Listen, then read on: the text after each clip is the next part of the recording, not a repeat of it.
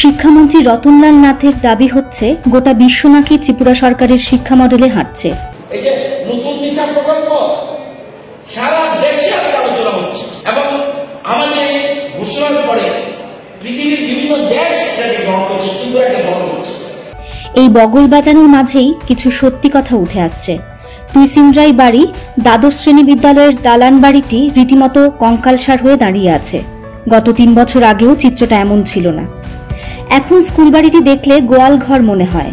ঘরের দেয়াল ভেঙে গেছে, বেঞ্চ মানে কাঠের কিছু টুকরো পড়ে রয়েছে, ছাদ ভেঙে পড়ার উপক্রম। ছাত্রছাত্রীরা ক্লাস করছে মাটিতে বসে, পরীক্ষাও দিচ্ছে মাটিতে বসেই। ঊর্ধ্বতন কর্তৃপক্ষকে বহুবার জানানো হলেও কোনো লাভই হয়নি। কিন্তু রতনলাল নাথের বগল বাজানো গপ্প থামার নামই নেই। কাকে জানাইছেন? কিন্তু তারা কোনো ইয়েই পায় না কাকে জানাইছেন? এটা ডিউ সাহেবকে যেমন হয়েছে গতবার বোধহয় পাঁচটা বেঞ্চ দেওয়া হয়েছে আমাদেরকে। তো পাঁচটা বেঞ্চে কি আমরা পাঁচশো সাড়ে পাঁচশো স্টুডেন্টকে বসা যায় নাকি? প্রত্যেকটা ক্লাসেই বেঞ্চ তাই। স্টুডেন্ট দাঁড়ায় থাকে একটা বেঞ্চে চারজন পাঁচজন করে বসে। তো কোনোদিনও বেঞ্চে বইতে পারে না পরীক্ষার সময় খুব প্রবলেম হয়। কমলাসাগরের মিয়াপাড়ার স্কুলে একশো উনিশ জন ছাত্রছাত্রী থাকলেও শিক্ষক আছেন একজন। এই একজন শিক্ষক দিয়ে চলছে সম্পূর্ণ বিদ্যালয়ের পঠন পাঠন। মিয়াপাড়া হাই স্কুলের প্রাইমারি সেকশনে একজন মাস্টার আজকে ছয় মাস ধরে এখানে শুধু একজন মাস্টার দিয়ে পাঁচটা ক্লাস চালানো হয়। হেদো তালাটি খুলতে খুলতে রুমে তালা খুলতে খুলতে স্কুলের সময় জায়গা এমন শিক্ষা ব্যবস্থাকে মডেল মেনে নিয়ে বিশ্বের আর কোথায় কোথায় একজন শিক্ষক দিয়ে সম্পূর্ণ বিদ্যালয়ে পঠন পাঠন চালানো হচ্ছে সেটাও শুধুমাত্র রতনলাল নাথই জানেন। কদমতলা উচ্চতর মাধ্যমিক বিদ্যালয়ে দুইশো বাষট্টি জন ছাত্রছাত্রীদের পড়ানোর জন্য শিক্ষক রয়েছে দুজন। এই দুজন শিক্ষকই উল্টে পাল্টে কোনো মতে পঠন পাঠন চালিয়ে যাচ্ছেন। বিশাল একটা স্কুল। এখানে শিক্ষক হিসাব দিয়েছেন দুইশো বাষট্টি জন ছাত্র। এই এত ছাত্রর মধ্যে মাত্র দুইজন শিক্ষক। এই দুইজন শিক্ষকের মধ্যে কোনো একদিন একজন আসেন না। যখন একজন আসেন না, একজন শিক্ষক থাকেন।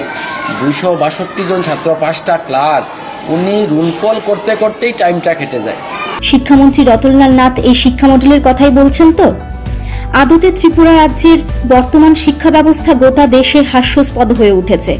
শিক্ষামন্ত্রী স্কুল, কলেজে গিয়ে ছাত্রছাত্রীদের সামনে বীরত্ব ফলাচ্ছেন শিক্ষক শিক্ষিকাদের গালাগাল করে। অথচ সেই সব বিদ্যালয়ের অজস্র সমস্যার কথা জানানো হলেও রতনবাবুর পাত্তা পাওয়া যায় না। টেট পাশ করার পরেও শিক্ষক নিয়োগের ক্ষেত্রে রাজ্য সরকার উদাসীন। ফলে শিক্ষক স্বল্পতা চরমে।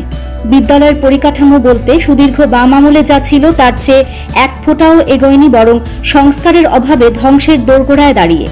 প্রায় এক হাজার সরকারি স্কুল বন্ধ সিদ্ধান্ত নিয়েছে বিজেপি সরকার। সরকারি বিদ্যালয়ে ফি যুক্ত করার সিদ্ধান্ত নিয়েছে বিজেপি সরকার। স্কুলের ভেতরে ঢুকে শিক্ষক পেটাচ্ছে বিজেপির বাইক বাহিনী। এই মডেলটাই কি চলছে বিশ্বজুড়ে? ভুক্তভোগী ছাত্রছাত্রীরাই জানাচ্ছে গত তিন বছর আগেও এমন দুরবস্থা ছিল না স্কুলগুলোর। এরপরেও রতনলাল নাথের বগল বাজানো থামবে কি? মানে বেঞ্চে বেঞ্চ আর স্কুলে মাটির বসতে হয় পলিটিং কত বছর ধরে এরকম অবস্থা? দুই বছর তিন বছর। আর আউট ছেলে মানে আউট মানুষরা এসে আমরা স্কুলে অনেক কিছু করে মানে